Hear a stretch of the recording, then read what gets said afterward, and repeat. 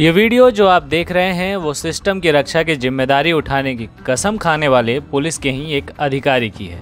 आमतौर पर आपने लोगों के अंदर वर्दी के प्रति सम्मान देखा होगा, लेकिन जब वर्दी दागदार हो जाए तो समाज के अंदर वर्दी के प्रति सम्मान खत्म हो जाता है।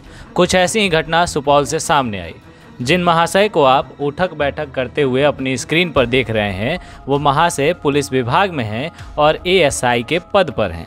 लेकिन आज लोगों ने उनके दरोगा होने का पूरा रुतबा ही झाड़ दिया है। पूरा मामला क्या है, सब बताएँगे, लेकिन पहले वीडियो देखिए। जानकारी के अनुसार सोशल मीडिया पर तेज़ी से वायरल हो रहे वीडियो के पीछे की कहानी कुछ ऐसी है कि जिसे सुनकर आप भी पुलिस वाले की हरकत पर शर्मसार होंगे। वायरल वीडियो सुपौल के भीमपुर थाना क्षेत्र का बताया जा रहा है। बताया जाता है कि एएसआई का नाम संजय शुक्ला है और वह भीमपुर थाना में पदस्थापित है, जो देर रात एक महिला के घर से आपत्तिजनक स्थिति में पकड़ा गया है। लोगों के हत्थे चढ़ने के बाद उसकी जमकर धुनाई हुई और दंड के रूप में कान पकड़कर उठक बैठक भी करवाया गया। इस पूरी घटना का वीडियो किसी ने वायरल कर दिया, जिसके बाद आसपास के क्षेत्र में पूरा मामला आग की तरफ़ फैल गया। ज़ाहिर है, उसके बाद पुलिस विभाग भी हरकत में आई। इस बीच देर रात ही मौके पर स्थानीय मुखिया पति सपैक्स अध्यक्ष रमेश मुखिया पहुँचे और एसआई के बारे में थाना अध्यक्ष को सूचना देकर एसआई को उनके हवाले कर दिया। मारपीट के दौरान दरोगा का पिस्टल भी गायब हो गया जिसे बाद में बरामद कर लिया गया। कल?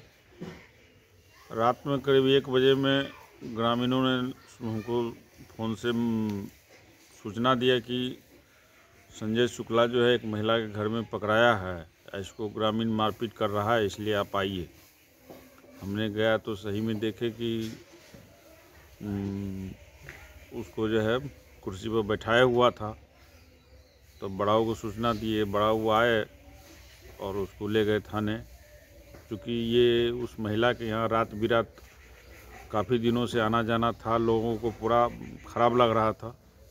और उसी के चलते ये ग्रामीण पहले से ही आक्रोशित था ही।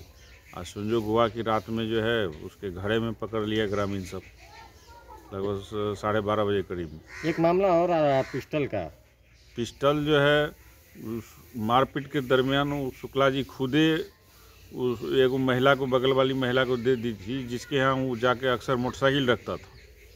उसी महिला को पिस्टल दे दिया था और मारी मारपीट के दौरान ही और बाद में जब हम लोग काफ़ी दबाव दिए महिला को तो पिस्टल घर के आगे फेंक दिया वो तो वो पिस्टल हमने अपने कब्जे में लिया, उसके बाद बड़ाओं को हैंडओवर कर दिया। और एक है, वो भी जो है, शराब पी के बराबर जो पंचायत में रहता था, एक महिला के घर में रहता था, उसके चलते भी यहाँ का लोग काफ़ी आक्रोशित था, जिसका संज्ञान डीएसपी साहब लिए हैं तो भीमराम और उनको दोनों को जो है, यहाँ से सुपौल ले गए बताते चलें कि इलाके में सामा चेकवा पर्व के अवसर पर जागरण का आयोजन किया गया था, जिसमें कलाकारों द्वारा स्टेज पर नाच गान का कार्यक्रम प्रस्तुत किया जा रहा था। इस दौरान उक्त एएसआई को स्टेज पर भी देखा गया था, लेकिन कुछ ही समय बाद वो कहीं गायब हो गया। बाद में पास के ही एक महिला के घर से उसे आपत्तिजनक हालत में पकड़ा गया। बताते चले कि दरोगा का इस महिला के यहाँ पहले से आना जाना था, जिसके कारण वो आसपास के लोगों की नज़रों में चढ़ गया था। इस पूरे मामले को लेकर पुलिस कप्तान के संज्ञान लेते हुए तत्काल कार्रवाई करते हुए उक्त एएसआई संजय शुक्ला को निलंबित कर दिया है।